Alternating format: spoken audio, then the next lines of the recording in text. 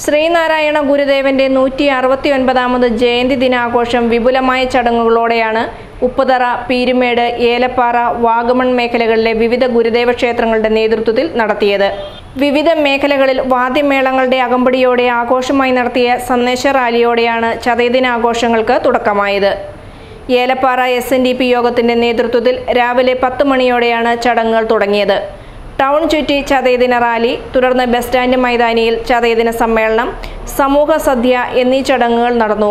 തുടർന്ന് ശ്രീനാരായണ ധർമ്മ പ്രചാരകൻ ബിജു പുളിക്കലേടത്തിന്റെ നേതൃത്വത്തിൽ ചതയദിന സന്ദേശവും നൽകി. തുടർന്ന് ഗുരുസാന്ത്വനം ചികിത്സാ സഹായ നിധിയുടെ വിതരണവും നടന്നു. ക്ഷേത്രം ഭരണസമിതി അംഗങ്ങൾ മറ്റ് പോഷക സംഘടനകൾ എന്നിവർ നേതൃത്വം വഹിച്ചു. ഉപ്പുതറ ടൗൺ ശാഖായോഗത്തിന്റെ നേതൃത്വത്തിലും ഗുരുദേവ ജയന്തി ആഘോഷിച്ചു. ഉപ്പുതറ ടൗണിൽ വിപുലമായ ചതയദിന റാലിയും നടത്തി.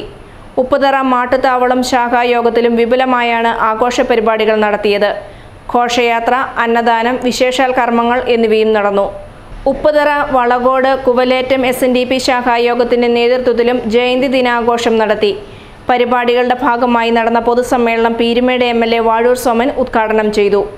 Ayyappancoil Chappath S N D P ശാഖായോഗത്തിന്റെ നേതൃത്വത്തിൽ നടന്ന ചതയദിനാഘോഷത്തിന് മുന്നോടിയായി കരിങ്കുളത്തു നിന്നുമാണ് ചതയദിനത റാലി തുടങ്ങിയത്.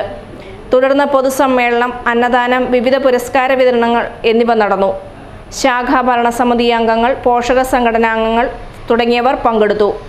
ഏലപ്പാറ നാലാം മൈൽ ശാഖായോഗത്തിലും ആഘോഷം സംഘടിപ്പിച്ചു. ഗുരുദേവ കീർത്തനാലാപനം ഘോഷയാത്ര എന്നിവയും നടന്നു. വാഗമൺ ശാഖയിലും ആഘോഷ പരിപാടികൾ സംഘടിപ്പിച്ചു.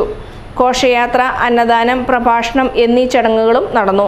പീരുമേട് ശാഖായോഗത്തിലും ആഘോഷ പരിപാടികൾ സംഘടിപ്പിച്ചു. പീരുമേട് ടൗൺ ചുറ്റി ഘോഷയാത്ര വിവിധ ചികിത്സാ സഹായ വിതരണം മത്സര പരീക്ഷകളിൽ വിജയിച്ചവർക്ക് പുരസ്കാര വിതരണം എന്നിവ നടന്നു. News bureau Elappara.